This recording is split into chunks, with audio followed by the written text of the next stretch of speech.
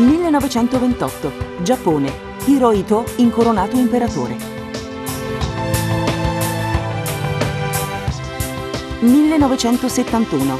Cambogia. I Khmer Rossi al potere. 1975. Trattato di Osimo. L'Italia rinuncia alla zona B di Trieste.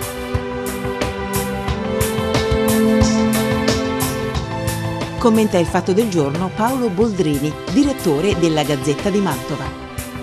Oggi ho scelto di parlarvi del novantesimo compleanno di Ennio Morricone.